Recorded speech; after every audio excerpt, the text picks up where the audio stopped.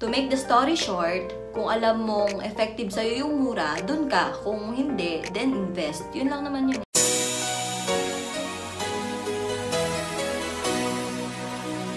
Everyone! Welcome to my YouTube channel. For today's video, I will share with you guys my skincare routine. Few weeks ago, I posted a poll on Facebook asking you guys kung interesado ba kayong malaman yung mga ginagamit ko.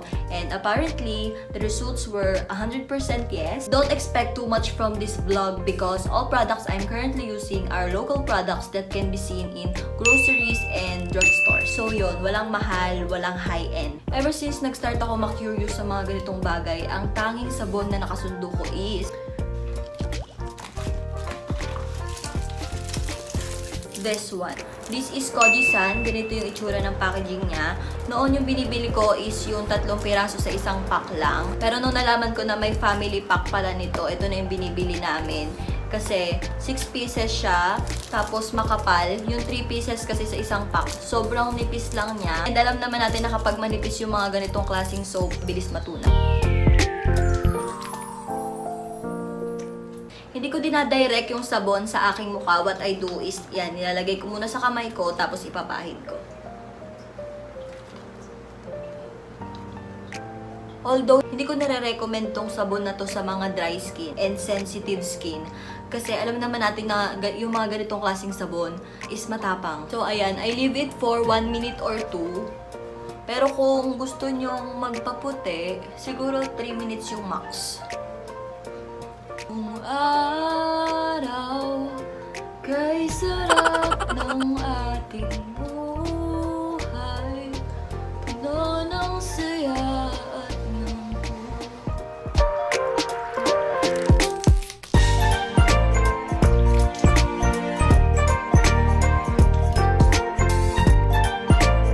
What I like about Koji is that it leaves you matte feeling finish kapag ni-rinse out mo na siya. Tapos kapag in-scrub mo na siya, ayan, mararamdaman mo na yung mga libag ng mukha mo. Meron kasi mga sabon ah, na after mong i-rinse out, madulas siya. So parang wala rin. Parang hindi ka rin naglinis ng mukha. Tapos i-rinse ulit natin.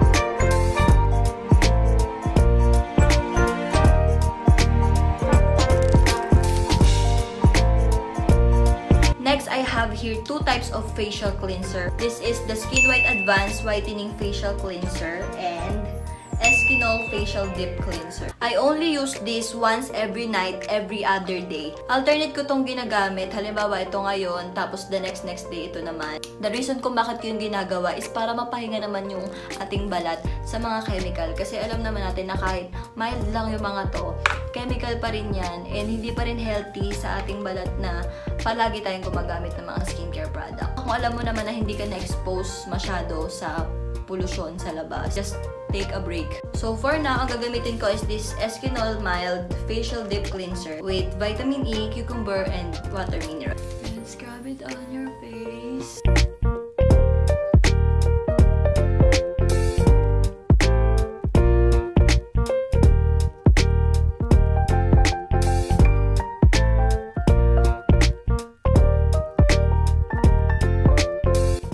About this is that hindi siya masakit, hindi siya hindi mabaho, hindi siya masakit. Kasi yung mga yung ibang Eskinol, 'di ba? Parang ang sakit sa ilong at saka sa mata, pero ito hindi. Kasi nga mild kay ano ba? Okay, next I have here two types of facial moisturizer. I have here Myra Vita Smooth Hydrating Facial Moisturizer and Myra Vita White Whitening Facial Moisturizer. Madalas kong ginagamit is this Vita White Whitening Facial Moisturizer. Kasi meron siyang SPF 15. Ayan. Sobrang helpful siya lalo na kapag lumalabas ka.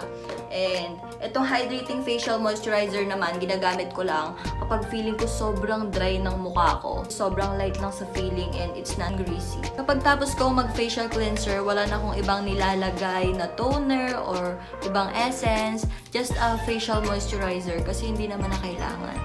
So, yan. Unti lang ilalagay ko. Yung sapat lang. Alam niyo yun. Sapat.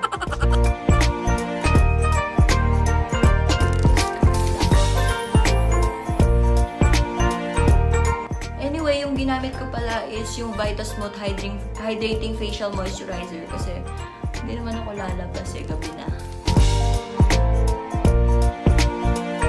You can use this up, um, bago matulog, ganon, kapag gising sa umaga. Pero ako, I only use this kind of products kapag matutulog na.